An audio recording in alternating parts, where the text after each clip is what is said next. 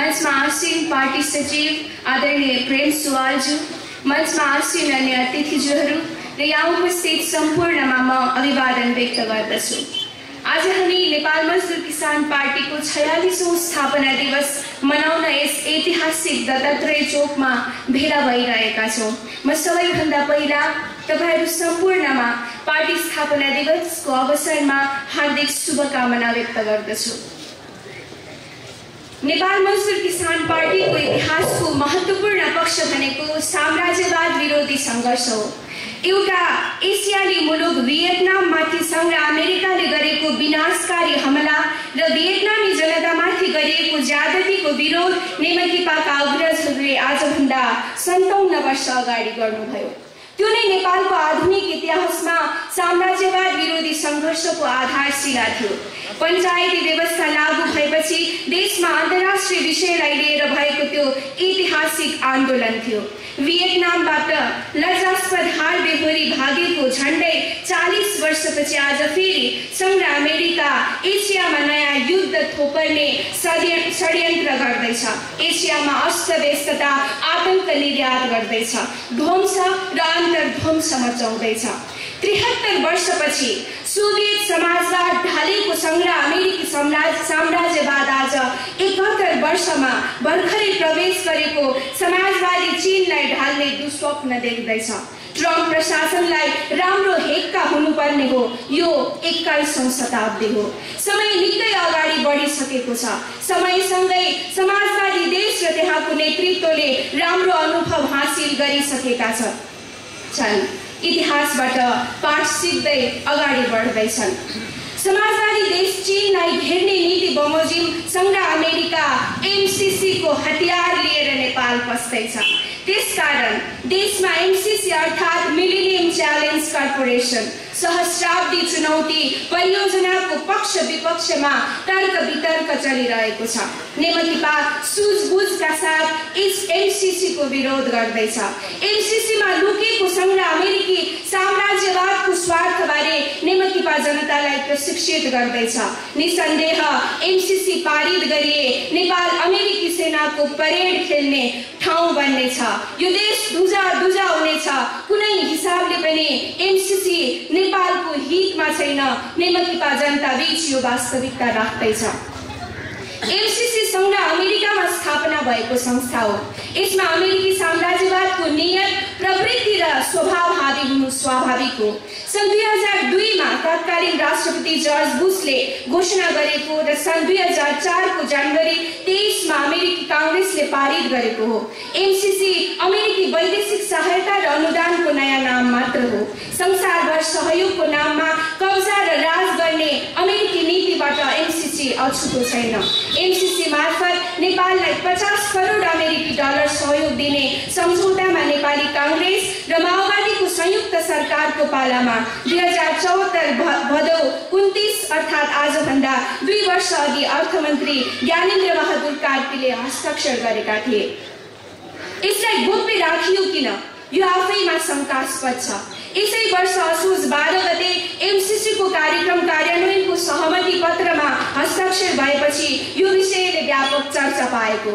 सम्झौता अनुसार अमेरिकी सरकारले पचास करोड अमेरिकी डलर अर्थात् पचपन्न अर्ब रुपियाँ अनुदान स्वरूप नेपाललाई उपलब्ध गराउने र नेपाल सरकारले तेह्र करोड अमेरिकी डलर बराबरको रकम कार्यक्रममा विनियोजन गर्नुपर्ने सम्झौतामा उल्लेख छ। विनियोजित रकम पाँच वर्षमा ऊर्जा र सडक सञ्जाल निर्माणमा परिचालन गरिसक्नुपर्ने प्रावधान पनि छ। इतिहास भन्छ सबै देशमा अमेरिका सिओ बनेर पस्ने अनि फाली बनेर निस्कने गर्दछ। जनता भन्दैछन् एनसेलको एकसठी अर्ब कर भुक्तानी गरिए वाइबडी नेपाल ट्रस्ट गोकर्ण रिसोर्ट आदिमा भएको अनियमितता तथा भ्रष्टाचार रोक्न सकेको भए खरबौँ रुपे रुपैयाँ हुन्थ्यो। एमसिसी नै किन चाहियो? त्यति मात्र होइन अघिल्लो बजेटको विकास बजेटमा एक खर्ब बिस अर्ब त खर्च नै हुन सकेन। एघार अर्बका दरले पाँच वर्षमा प्राप्त हुने अमेरिकी अनुदानमा शासक दल ल्याल चुकाउँदैछ। परनिर्भरता र दास मानसिकताबाट उठ्न नसकेको शासक दलले एमसिसी मार्फत नेपालमा समृद्धि ल्याउने ठुला फराकिला बाटा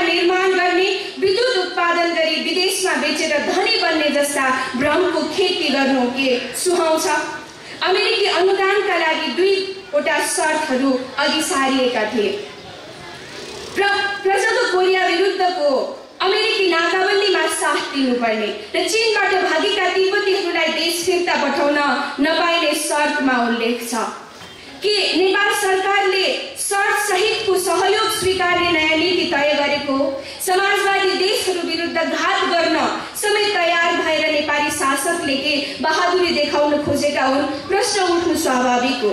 एमसिसी लागू गर्न भने छवटा शर्तहरू अघि सारिए।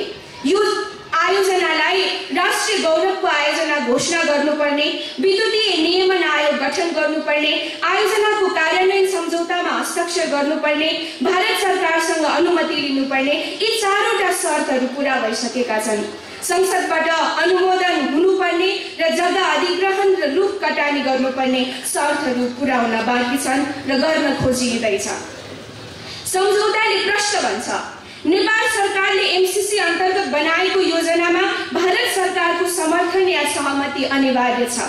के यो नेपालको सार्वभौमिकतामाथिको ठाडो प्रहार होइन? या ट्रम्प प्रशासनले नेपाललाई सार्वभौम देशको रूपमा अस्वीकार गरेको हो? उक्त सम्झौता र नेपालको कानुन बाजिएमा सो सम्झौता नै लागू हुनेछ भनी लेखिएको छ। कि कुनै विदेशीसँग गाँसिएको सम्झौता नेपालको संविधानभन्दा माथि हुन सक्छ। यद्यपि प्रधानमन्त्री भनिरहेका छन् एमसिसी संसदबाट अनुमोदन हुन्छ ढुक्क हुनुहोस्। हामीलाई हाम्रो सार्वभौमिकताको मूल्यमा पचपन्न अर्ब रुपियाँ चाहिएको छैन। यो सचेत जनताको आवाज हो। सम्झौताले भन्छ नेपालको सम्पूर्ण बौद्धिक सम्पत्तिमा अमेरिकाको अधिकार हुनेछ। आयोजनाको लेखा परीक्षण अमेरिकाले नै मात्र गर्न पाउनेछ अर्थात् पनि नेपाल सरकारले लेखा परीक्षण गर्न पाउँदैन। अमेरिकी सरकारले चाहेमा जुनसुकै बेला सम्झौता खारेज हुन सक्दछ। परियोजनामा नेपाल सरकारले कुनै निकायलाई खटाउनु पर्यो भने कम्पनीको स्वीकृति लिनुपर्नेछ। एमसिसी पारित गरी कुनै अमेरिकी कम्पनी अन्तर्गत नेपाल सरकारले काम गर्नुपर्नेछ। स्वाभिमानी नेपाली जनतालाई यो स्वीकार्य हुन सक्दैन। सेना मिलिसिया रक्षा र अन्य अर्थ सैन्य सङ्गठन या इकाइको प्रशिक्षण वा सहयोगबारे पनि सम्झौतामा उल्लेख छ। नेपाली सेनालाई प्रशिक्षणको नाममा या लगानी सुरक्षाको नाममा अमेरिकी सेना नेपाली भूमिमा पस्ने बाटो हो एमसिसी एमसिसीले अमेरिकी सुरक्षा रणनीतिको कार्यान्वयन गर्छ। त्यसकारण यो निर्विवाद हिन्द प्रशान्त रणनीति अन्तर्गतको कार्यक्रम हो। हात्तीको देखाउने र चपाउने दुई थरी दाँत हुन्छ भने चाहिँ सङ्ग्रा अमेरिकाको देखाउने दाँत एमसिसी अर्थात् आर्थिक अनुदान र चपाउने दाँत हिन्द प्रशान्त रणनीति अर्थात् सैन्य गठबन्धन। ओली सरकार एमसिसी कुनै हालतमा आइपिएस अन्तर्गत नभएको जिकिर गर्दैछ। यदि त्यसो हो भने नेपाल सरकार र अमेरिकी सरकारको सम्झौता पत्र र अमेरिकाको रक्षा मन्त्रालयबाट आधिकारिक रूपमा प्रकाशित प्रतिवेदनमा किन लेखिन्छ नेपाल हिन्द प्रशान्त रणनीतिको अर्थात् आइपिएसको पछिल्लो सदस्य देश हो। प्रधानमन्त्री ओली हामी आइपिएसमा गएकै छैनौँ भनेर दिउँसै झुट बोल्दैछन्। परराष्ट्र मन्त्री प्रदीप गेवालीको अमेरिका भ्रमण लगतै नेपालको आइपिएसमा सहभागिताबारे समाचार प्रकाशित भएको कसैबाट लुकेको छैन। अमेरिकाको रक्षा विभागले सन् दुई हजार उन्नाइस जुन नौमा प्रकाशन गरेको हिन्द प्रशान्त रणनीति प्रतिवेदनमा प्रश्न उल्लेख छ। हिन्द प्रशान्त क्षेत्रका बाह्र देशसहित सन् दुई हजार उन्नाइसमा सङ्घ अमेरिकाको उना अस्सीवटा साझेदार हुनेछन्। त्यस प्रतिवेदनमा सन् दुई हजार उन्नाइसमा नेपाल र श्रीलङ्का थपिने उल्लेख छ। सरकारले जनतासँग किन झुट बोल्यो जनता यतिखेर प्रश्न गर्दैछन्।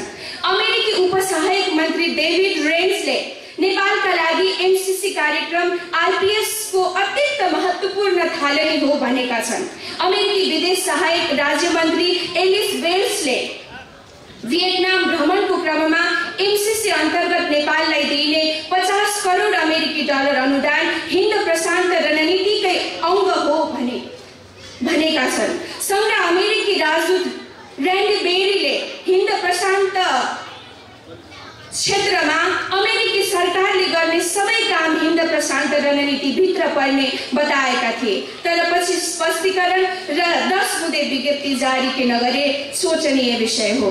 आइपिएस सङ्घ र अमेरिकाको चिन घेर्ने नीति नै हो कुनै विवाद छैन।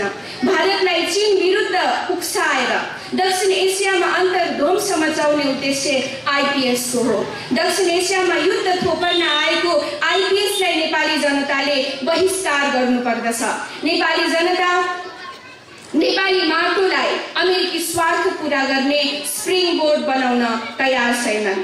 प्रजाको कोरियाको नेपालमा लगानी र कामदार फिर्ता पठाउने काम नेपाल सरकारले अमेरिकी दबावमा गरेको एउटा दृष्टान्तले पनि शासक दलको वास्तविक चरित्र उदाङ्गो पार्दछ।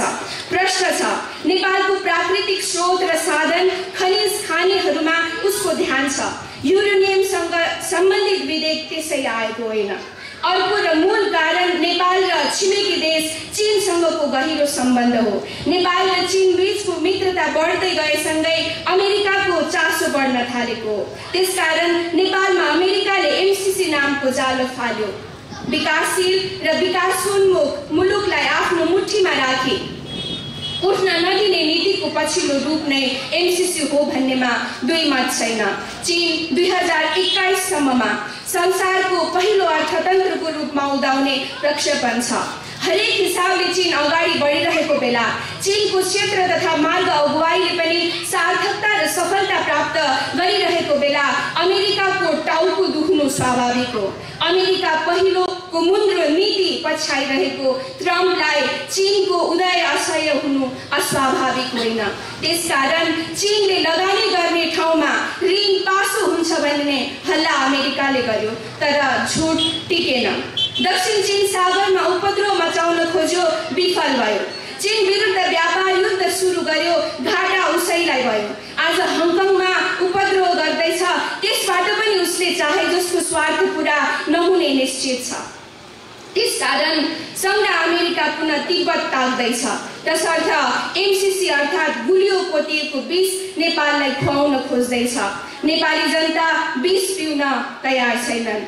अमेरिकाको बाँसो नीति संसारका जनतालाई चाहिँ नेपाली जनतालाई पनि मन्जुर छैन। आर्थिक अनुदानले देश कहिल्यै बन्दैन बनेन आत्मनिर्भरता नै एकमात्र विकल्प हो। अनुदानको नाममा उपनिवेश खडा गर्ने सङ्घ अमेरिकाले आर्थिक सहायताकै नाममा फिलिपाइन्सलाई आफ्नो नियन्त्रणमा लियो कोरिया प्रायद्वीपलाई दुई टुक्रा बनायो। Afghanistan Iraq Iran Libya Syria Latin America र अफ्रिकी देशहरूमा ध्वंस मचायो सङ्घ अमेरिकाले जहाँ जहाँ पाइला टेक्यो त्यहाँ त्यहाँ रक्तपात भएको इतिहास छ। ती देश खरानी भएको इतिहास छ। इरान इराक युद्ध मैदान बन्दैछ। कि त्यही नियति नेपाली शासकले अन्त्यहीन हत्या हिंसाको शिकार बन्न के मन्जुर छ यदि अमेरिकी सहयोगले विकास हुन्थ्यो भने चिली पानामा हाइटी सुडान इन्डोनेसियामा खै विकास भएको अफ्रिकामा साम्राज्यवादीहरू सुरुमा हतियार लिएर गएका थिएनन् बाइबल र पैसा सहयोग लिएर अफ्रिका गएका थिए दक्षिण अफ्रिकी नेता डेस्मोन्ड टुटुले छन् साम्राज्यवादीहरू अफ्रिका आउँदा उनीहरूको हातमा बाइबल थियो र हामीसँग हाम्रो जमिन थियो। उनीहरूले भने प्रार्थना गरौँ। हामीले आँखा चिम्लेर प्रार्थना गऱ्यौँ। आँखा खोल्दा बाइबल हाम्रो हातमा र हाम्रो जमिन उनीहरूको हातमा पुगिसकेको थियो। यसरी बाइबल र पैसाले अफ्रिकीहरूलाई घरबार विहीन बनाएको इतिहास छ। अफ्रिकामा अमेरिकी अनुदानले काम नगरेको दृष्टान्त लेखिका डास्मिना मोयाले लेखेकी छिन्। सन् दुई सन् उन्नाइस सय सत्तरी र उन्नाइस सय अन्ठानब्बेको बिचमा अफ्रिकामा अमेरिकी अनुदान उच्च दरले भित्रिँदै थियो। त्यही समयमा अफ्रिकाको गरिबी दर एघार प्रतिशतबाट छैसठी प्रतिशतमा उकालो चढ्यो त्यसकारण उनी भन्छन् अमेरिकी अनुदान समाधान रोकेर आउँदैन यो आफैमा घातक र ठुलो समस्या भए बनेर रहन्छ त्यसै त्यसै गरी पोर्चुगल र इस्ट इन्डिया कम्पनी भारतमा सुरुमा व्यापारको नाममा गएका थिए हतियार लिएर बेलायती सेना धेरै पछाडि भारत गए एमसिसीको गुलियोमा फस्नु आत्मसमर्पण या आत्महत्या साबित हुनेछ। अन्य देशको इतिहासबाट सिक्न जरुरी छ। एमसिसी अन्तर्गत आउने अनुदान र अनुदानसँगै आउने सङ्घ अमेरिकाको दृश्य अदृश्य हतियार नेपालको निम्ति ठुलो समस्या बन्ने हुँदा यस विरुद्ध सशक्त सङ्घर्ष आवश्यक छ। देशको स्वाधीनता स्वतन्त्रता र सार्वभौमिकतालाई विदेशी पैसासँग साट्नु देशद्रोह हो। त्यसकारण संसदबाट अनुमोदन गर्न दिनु हुँदैन। एक मन्त्री भन्दैछन् एमसिसीलाई कसैले रोक्न सक्दैन। हामी भन्छौँ एमसिसीलाई जनताले रोक्नेछन् देशघाती एमसिसीमा हस्ताक्षर गर्ने र अगाडि बढाउने जो कसैलाई जनताले सजाय दिने निश्चित छ। नेपाल मजदुर किसान पार्टीको छयालिसौँ स्थापना दिवसको अवसरमा साम्राज्यवाद विरोधी भावनाको विकास गर्ने अठोट गरौँ। साम्राज्यवाद र तिनका दलाल विरुद्धको सङ्घर्षलाई नयाँ उचाइमा पुर्याउने नेपाली जनता र विश्वका जनताको शान्ति सुव्यवस्थाको चाहना पुरा गरौँ। यो नै सम्भावित दुर्घटनाबाट विश्वलाई जोगाउने एउटा उत्तम उपाय हुनेछ। धन्यवाद।